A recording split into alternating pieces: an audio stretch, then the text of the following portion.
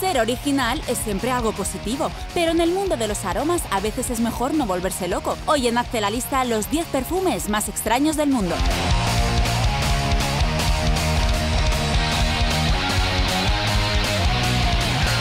Burger King. No sabemos muy bien por qué, pero alguien llegó a la conclusión de que ir por ahí oliendo a patatas de hamburguesa era buena idea. Y sinceramente, ese olor es genial cuando tienes hambre y buscas un Whopper, pero nada más.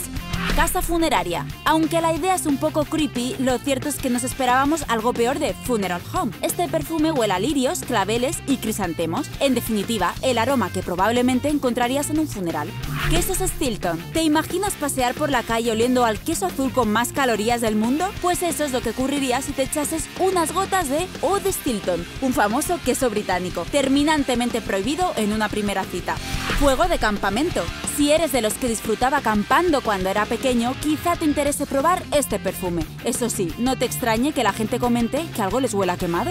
Tu propio ADN. Como lo oyes, la empresa My DNA Fragrance te ofrece tomar algunas muestras de tu ADN para crear un perfume totalmente personalizado. Lo malo es que si no te gusta el resultado final, pues que no puedes hacer otra cosa.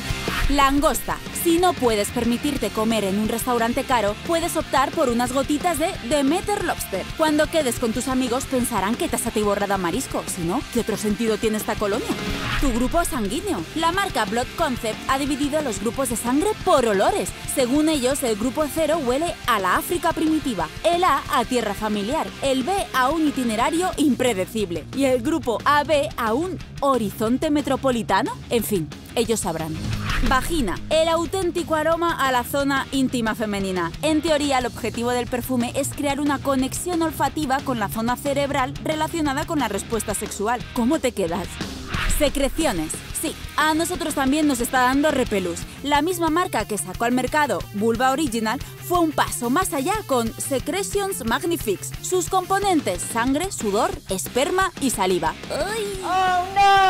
Electricista gordo. Este sí que es otro nivel. El aroma de Fat Electrician está inspirado en el estilo de vida de los 70 y a pesar de que el nombre no nos da mucha confianza, este perfume tiene notas de vainilla, vetiver y mirra. ¿De verdad olerán así los electricistas gordos?